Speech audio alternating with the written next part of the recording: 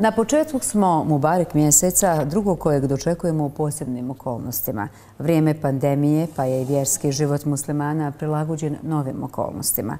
O Ramazanu, ramazanskim blagodetima i aktivnostima u vrijeme pandemije na području Muftistva Tuzlanskog u nastavku razgovaramo sa doktorom Mensurom Huskićem, rukovodiocom službe za vjerske poslove i obrazovanje Muftistva Tuzlanskog.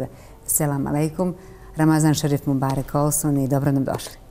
Aleikum selam, Ramazan Šerif Mubarek Olson i vama. Koristim se ovom prilikom evo, da se zahvalim menadžmentu radio televizije Tuzlanskog kantona i naravno vama jednom naprednom timu koji ste u prijezdovnom periodu radili na osmišljavanju i pripremama ovog ramazanskog programa i hvala Bogu svake godine načinite jedan korak više jedan level. Nadam se, ako Bog da, da ćete ispuniti i ove godine naše očekivanje u tom pogledu. Hvala vam. Zavisi kolika su vam očekiva. Nadamo se da nisu prevelika. Mislim, evo prvi dan Ramazana, prvi dan posta, kako s Ramazanom?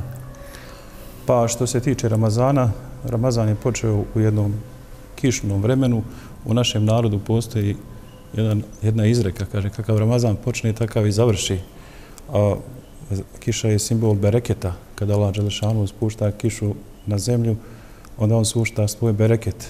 Ramazansko vrijeme je samo po sebi bereketno vrijeme, tako još i kiša u Ramazanu, to je jedna posebna blagodat e, i onim ljudima koji su odlučili da postavimo Allaha Đelešanu i koji su shvatili, spoznali smisao Ramazana i posta, e, to ne predstavlja veliku poteškoću.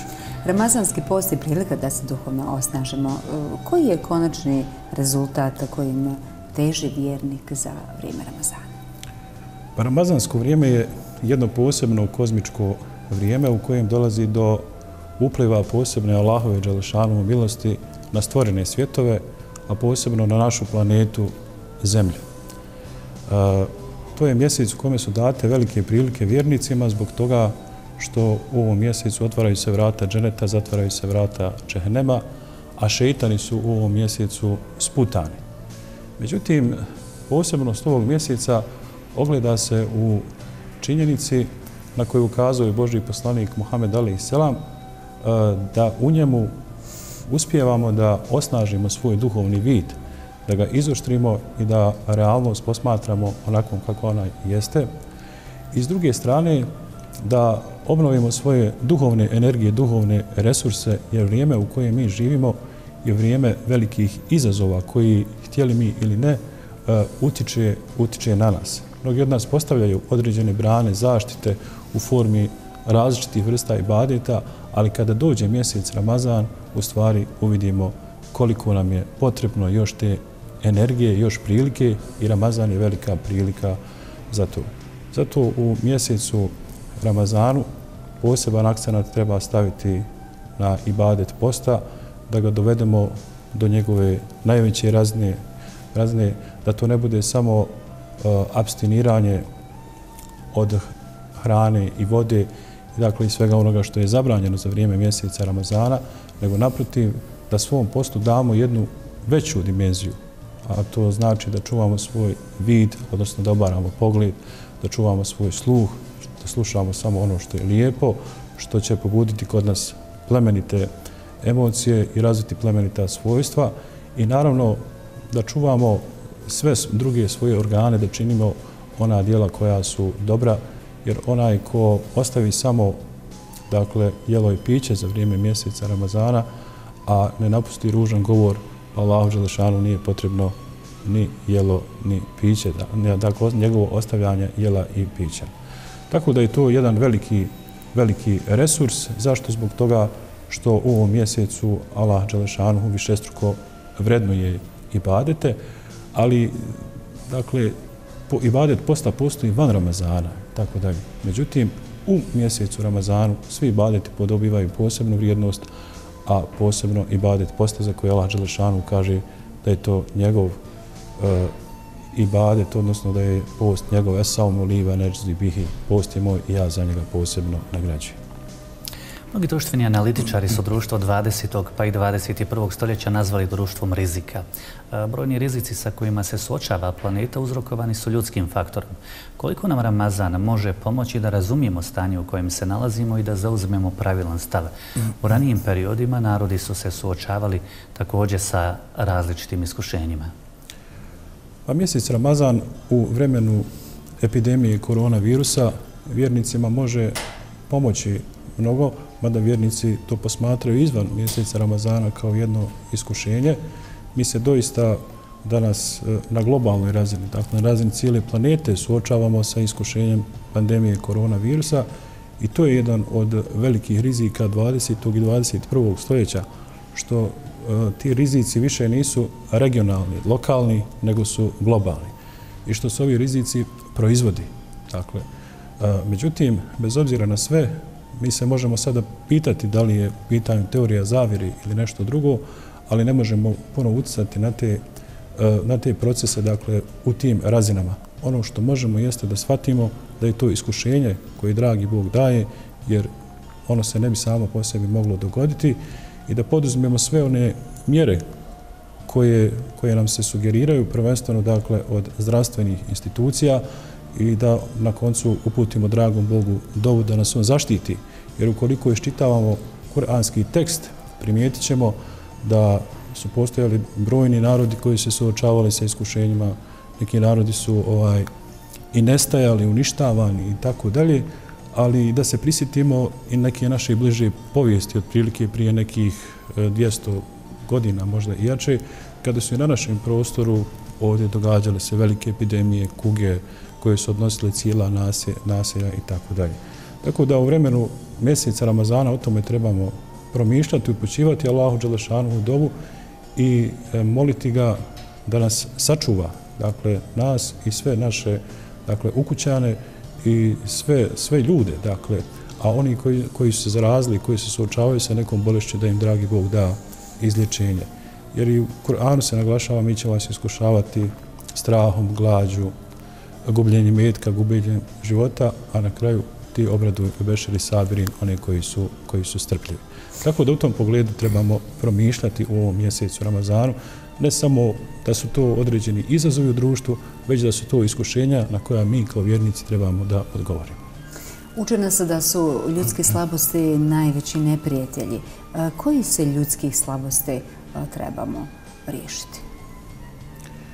Čovjek je biće Eh, dualističko biće, dakle, koje baštini dvije dimenzije, dimenziju eh, duha, eh, odnosno ruha koji je udahnut tijelo i naravno ovu dimenziju, dimenziju tijela koje je postalo od zemlje i koje će se na koncu vratiti zemlji.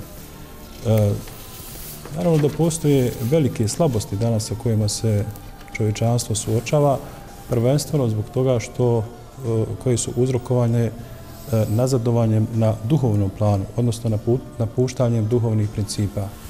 Jedna od e, evo, klasifikacija tih slabosti, to je nekada ispominjao Ebu Hamid al-Gazali u svom dijelu uh, Ihya Ulumi Din, kada govori o ljudskim slabostima kao što su, odnosno bolestima duše, kao što su oholost, egoizam, uh, pretjerano orijentiranost prema dunjalku, pretjerana težnja ka pozicijama, dakle određeni društveni, e, samodopadljivost, e, smatranje sebe najbitnijim i tako dalje. To su slabosti sa kojima se mi danas suočavamo i prvenstveno, dakle, e, mijenjati, odnosno ukloniti te slabosti, prvenstveno znači e, intervenirati u samo središte ljudskog duha, odnosno u njegovu dušu. E, ramazanski ibadeti i svi drugi ibadeti za vrijeme mjeseca Ramazana su najbolja prilika za to. Eh, jer ne postoji ni jedan drugi koncept, dakle bolji koncept od mjeseca Ramazana. On je neprevaziđen kada je u pitanju dakle, eh, liječenje ljudske duše, kada je u pitanje prevazilaženje slabosti ili jednostavno rečeno kada je u pitanju izgradnja jedne cjelovite ličnosti i jednog kvalitetnog karaktera. Eh, Ramazan je prilika da pomislimo i o našim emanetima u porodici, ali i u društvu. Emanet je nešto što je čovjeku dato, prvom čovjeku kada je stvoren ponuđen je emanet, a to jeste e, povjerenje koje za sobom povlači i određenu obavesu. E, prvenstveno, kada su u pitanju naši emaneti danas, e, oni se odnose na emanete koje smo preuzeli u određenim društvenim institucijama, ali generalno, dakle, da krenemo od primarne te naše institucije i porodice, dakle, gdje su izraženi naši porodični emaneti i emanet, odnosno ono što je čovjek preuzeo kao svoju misiju u životu na ovom svijetu. Na to treba staviti poseban akcenat. Zašto? Iz jednog e, razloga što je Boži poslanik Muhammed Ali Selam u jednom hadisu kaže onaj čovjek kome dva dana budu identična, on je gubitnik. On je gubitnik. E, to Eh, iz ovog hadisa se može iscrpiti kakva naša dunjalučka uloga treba da bude. Dakle, kontinuirano da idemo naprijed, eh, proaktivno da djelujemo, a posebno se ovo odnosi na manete ljudi koji se nalaze na čelu određenih institucija koje rukovode tim institucijama, eh, jer oni predstavljaju tu pokretačku snagu. Lokomotiva određuje brzinu kretanja vagona i tako dalje. Oni mogu usporavati ili mogu ubrzavati. I zato je veoma važno dakle, voditi brigu o svim ponuđenim emanetima. Naš emanet ovdje je naša vjera, naša kultura, naša tradicija, naša država i naravno naš emanet su svi ljudi koji su oko nas, jer din islam od nas zahtjeva da poštujemo čovjeka kao univerzalnu, kao savršenu, savršenu biće koje je dragi Bog, Bog stvorio, ne pitajući se dakle kojim on identitetima pripada samo ukoliko ne čini loše, odnosno ukoliko ne čini zlo na ovom svijetu. Jedna od posebnosti Ramazana jeste i ta što ga zovemo mjesecu mutjehe, kada dolazi do izražaja naša solidarnost. E, u mjesecu Ramazanu posebno trebamo da mislimo na one koji su u nemoći. Moderno vrijeme u kojem mi živimo je vrijeme u kojem je dolazi do izražaja otuđenja, kapitalistički način proizvodnje, e, rada i tako dalje, e, omogućava dakle, jednu samodovoljnost određenom broju ljudi, tako da se oni distanciraju od drugih ljudi jer smatraju se samodovoljni. Međutim, neprirodno je da čovjek živi sam, otuđen od drugih ljudi. Zašto? Zbog toga, e, baš zbog ovog emaneta u kojem sam govorio ali generalno, dakle, čovjek ima potrebu za drugim ljudima ne samo da preuzma informacije od tih ljudi, već jednostavno da dijeli i s njima, s njima emocije. I zato je veoma važno, dakle, u ovom, u ovom segmentu, kada govorimo da je Ramazan mjesec utjehe, da u njemu dođe do izražaja naša solidarnost. Islamski učenjaci su ga tako nazvali. Zašto? Zbog toga e, što su se u tom mjesecu siromašni ljudi znali obradovati, da će im priteći pomoći, pomoć bogati, da će im osigurati iftar i nešto drugo što je potrebno. Hvala Bogu da islamska zajednica će na ovom mjesecu Ramazanu koji je poseban, dakle gdje su reducirane i određene naše aktivnosti, realizirati i određene, određene akcije. Jedna od tih akcija jeste otvorimo na hiljade vrata, ali i generalno dakle, na nižim razinama, dakle na područjima naših mežlisa u saradnji sa našim džematlijama, trudit ćemo se da u ovom pogledu, u ovom pogledu uspijemo i naravno da se postavimo svi jedan imperativ da za vrijeme mjeseca Ramazana otvorimo što više vrata i da donesemo što više utjehe u tuđe domove. Ove godine ulazimo u Ramazan otvorenije nego što je to bilo prošle godine.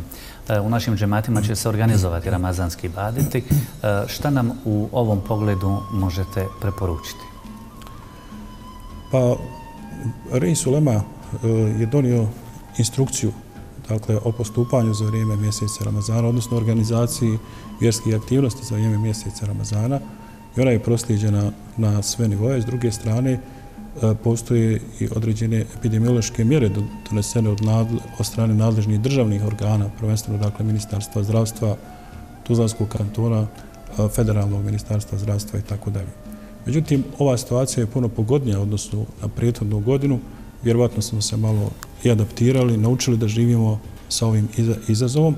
I ono što bih sugerirao našim džematlijama jeste da e, poštuju, poštuju te mjere dakle, koje su na snazi. E, oni koji su rizična kategorija da ostanu u kući zajedno sa djecom, mi ćemo organizirati veliki broj tih aktivnosti uz poštivanje svih ovih mjera koje su, koje su na snazi.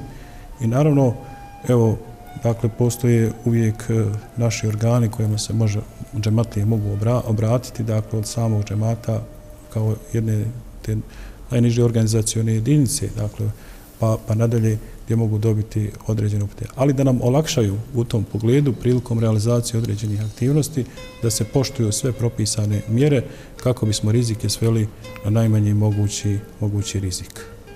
Hvala vam što ste odvojili svoje vrijeme i bili naš eh, današnji gost ovog prvog dana Ramazana. Hvala i vama i evo za, za kraj bih, ako dozvolite jednu poruku, uputio našim džematlijama, odnosno svim bošnjacima, muslimanima, ona nije duga. Dakle, da vjerujemo u Boga, da što više činimo i badete i da vjerujući Boga što više budemo od koristi drugim ljudima. Amen. Gospodine Husiću, hvala vam što ste bili dio ramazanskog programa.